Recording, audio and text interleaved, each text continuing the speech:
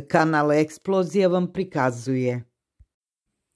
Oni su za mene posebni, Dejan održao emotivni govor. Dejan Dragojević došao je na red i otkrio ko su za njega najposvećeniji zadrugari. On je pomenuo ljude koji su ga sačuvali kada mu je bilo najteže. Ja ću uvek spomenuti ljude koji su me sačuvali od svega ovde. Navešću Frana Đedovića i Sandru. Bilo je trenutaka kada sam im ispirao mozak. Sandra je toliko plakala sa mnom. Kada mi je bilo teško, ušao je i Đedović, pojavio se kao magija.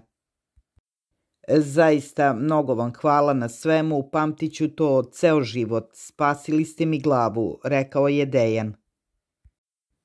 Lajkujte na video i zapratite eksploziju ako želite da budete u toku.